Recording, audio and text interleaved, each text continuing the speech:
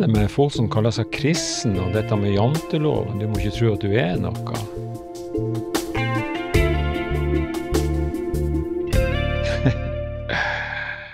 Nei, den eh, Jo. Den er nok til stede, og det har den vært helt ifra tidenes morgen, omtrent. Jeg husker for mange, mange år sia Ja, jeg er jo 66, så jeg var jo ikke mer enn 20 år cirka. Så hørte jeg en uh, sang av Bjørn Eidsvåg. Og jeg husker ikke hva sangen heter, men i teksten så sto det Se hvor de elsker hverandre. Og det skjønner du var nok ironisk meint. For heller ikke den gangen, for sånn ca. 46 år siden, da, som det er for min del, så var det ikke sånn at den kristne kjærligheten akkurat var det som gjennomsyra de kristne. Så dette med kjærlighet har jeg jo snakka om til det kjedsommelige, vil noen si. Men det er det det står og faller på. For når Jesus ble utfordra på hva som var det største budet, så visste han det utmerket godt. For det aller største, det er det budet som eh, sier noe om relasjonen til Gud. Og det neste budet er det som sier noe om relasjonen til medmennesker. Du skal elske din neste som deg sjøl, og i gammel tid så var den neste, din neste det var først og fremst naboen din. Ja, for de reiste lite med tog og buss og fly og sånne der ting. Jeg tror ikke de hadde det, nei. Og så sa Jesus eh, helt på slutten av si virksomhet at et nytt bud gir jeg dere. Dere skal elske hverandre slik som jeg har elska dere. Så igjen så viser altså Jesus seg som forbilde for meg og deg. Ikke bare skal vi elske hverandre, men vi skal elske hverandre slik som Jesus har elska meg og deg. Og da er vi nødt til å finne ut hvordan så Jesu kjærlighet ut? Ja, og for å finne ut det, så må vi gå til kildene, og kildene er Bibelen. Først og fremst de fire evangeliene. Og det er lurt, hvis ikke du har lest i Bibelen før, så kan det være lurt å starte med det korteste evangeliet, Markus sitt evangelium, som er den andre boka i Det nye testamentet. Men så er det altså dagens bibeltekst. Det er Paulus et brev til menigheter i Korint. Og Korint var en by med utrolig mye forskjellige mennesker i, og forskjellige livsanskuelser. Og midt i dette denne smeltegryta var det altså kristne.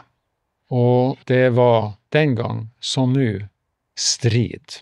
Det var kristne søsken som førte rettssaker mot hverandre, og det var full splid i forhold til hvordan nattverden skulle gjennomføres, og innholdet i nattverden, og respekten for nattverden i det hele tatt. Gudsfrykt, altså respekt for Gud, og Jesus som forbilde. De krangla om hvilke forkynnere de skulle følge, Paulus eller Apollos eller noen andre. Da var Paulus raskt opp med en formanende pekefinger, der han gjorde dem oppmerksom på og minnet dem på om at det handla ikke om de som forkynner, det handla om den som blir forkynt, Jesus. Og så er det altså i kapittel tolv, der dagens tekst er henta ifra.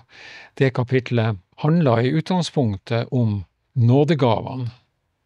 Altså, hva skal til for at ei menighet skal fungere? Jo, vi må flytte fokus ifra oss sjøl. Vi må flytte fokus ifra stridigheter. Og så må vi flytte fokus over på Jesus. For hva sa Jesus før han døde? Han sa det at vi skulle gjøre de samme tingene som han gjorde, under, ja, endog større gjerninger enn han gjorde, står det. Jeg har problemer med å se for meg noe større enn det Jesus gjorde, men det spiller ikke noen rolle. Så er det altså i kapittel 12 i første Korinterbrev at Paulus ramser opp de ni nådegavene, altså åndelige gaver som skal være i full funksjon i ei fungerende menighet.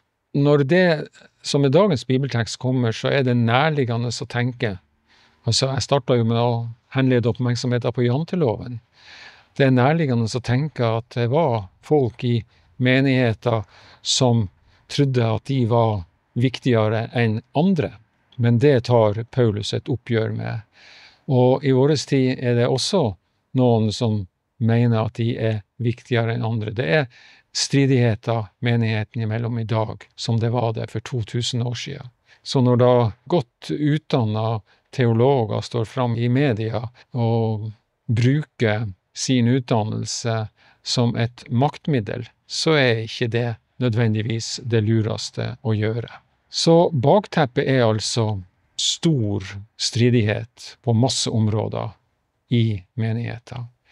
Og han Paulus minner dem på om at alle er like viktig.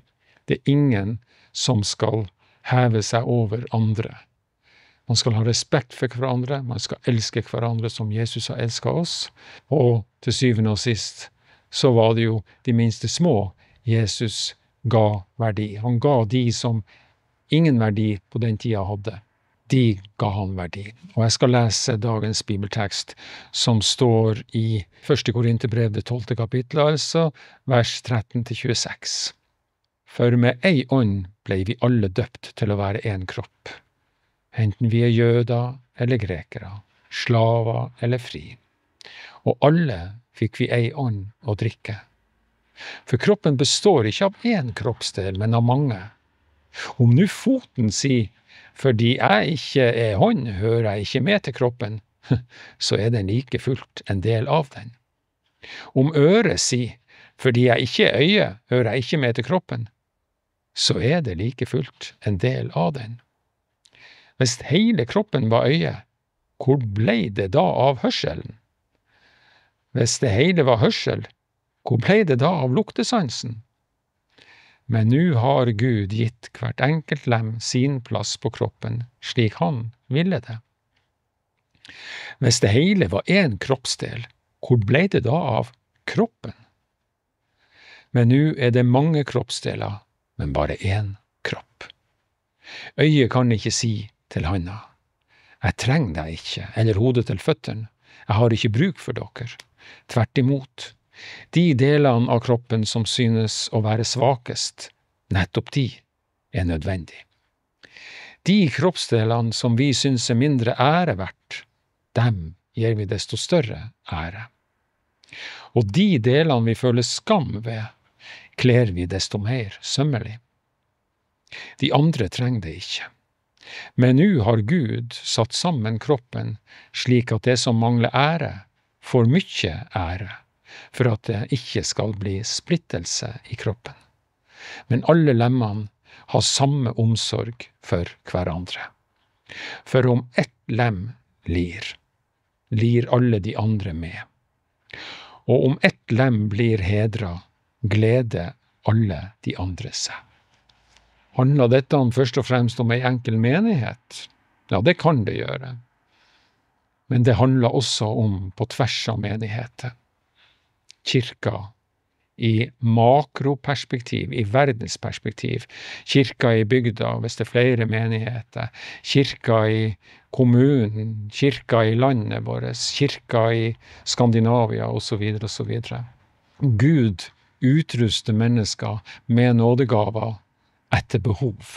Etter hvilke behov Gud ser det er, med tanke på det å nå mennesker som ikke er frelst, men også det å bygge opp menigheter.